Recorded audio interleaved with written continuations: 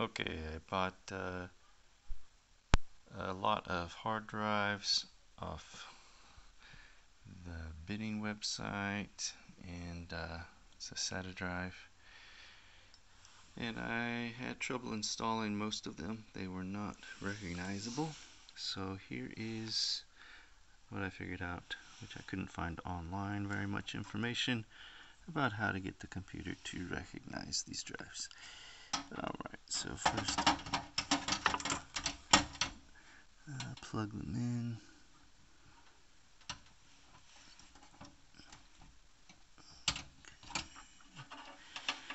There's a power cord and there's this SATA cord. Good. Alrighty then. Sorry about that.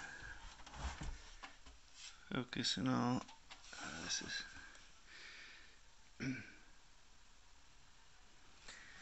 okay, so then you'll get uh, this on the screen. If uh, something's not working out right, it's going to give you an error. It's going to say incompatible, so hit your Control I button, and it'll take you to this uh, Rapid Storage Technology setting menu.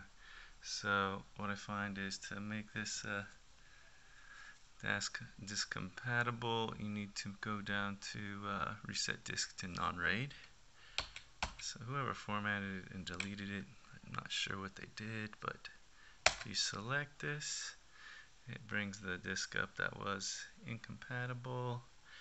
Uh, you need to select it by pushing spacebar and you'll see this little triangle show up and then uh, enter. Will confirm it.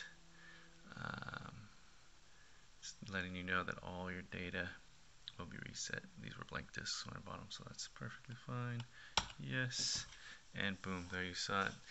Went straight to uh, non-RAID compatible disk.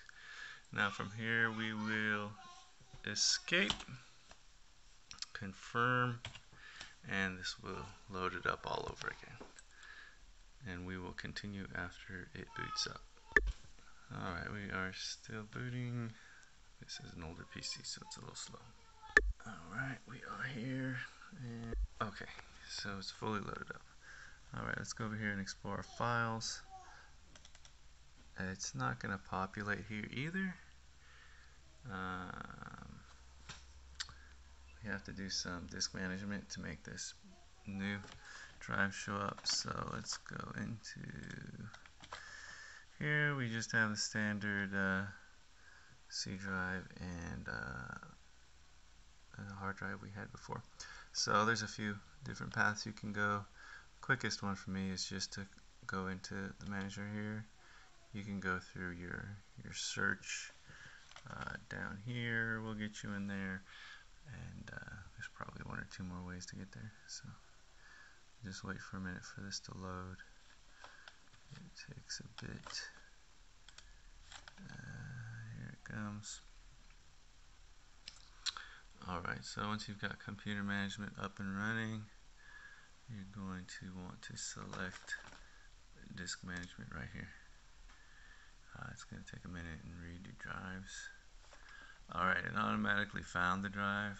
Uh, that wasn't quite configured correctly. So for my setup, I'm just going to use a master boot record. Uh, if you want to use a GPT, go right ahead. I don't really mess with that. Um, okay, so we still don't have the drive showing up yet. It is down here showing unallocated. So we will, it doesn't have a drive number or letter. So right click on it and we'll just choose to make it a new simple volume. The wizard will set it up with you. Uh, this is just going to be the maximum size by default. That's fine.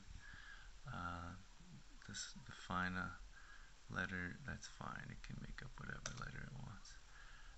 I'm going to store mine as an NTFS system um, and do a quick format, which is fine with what I use.